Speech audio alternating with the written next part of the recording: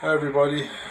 So I'm going to show you how to take off uh, fuel rail and fuel injectors for a 1999 Toyota Celica GT.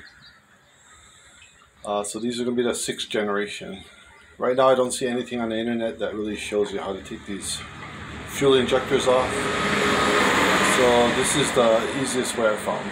Okay. This is my car, six six series, six generation.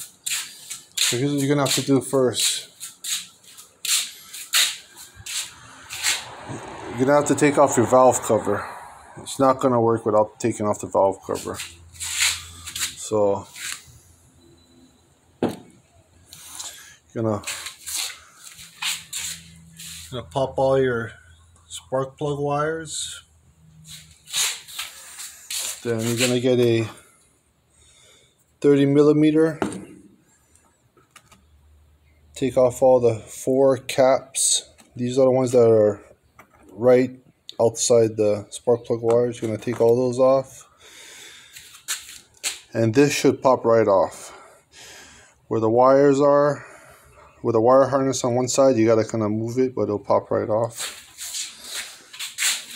Then you're gonna need uh, 12 inch, I'm sorry, 12 millimeter to take the fuel rail off. So you're gonna have a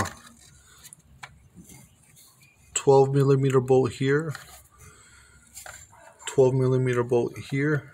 You're gonna take those two 12s off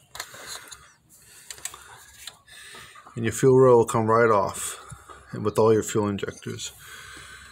And then you could change all your you can well you can clean your fuel injectors or change your injectors or change your o-rings whatever you got to do.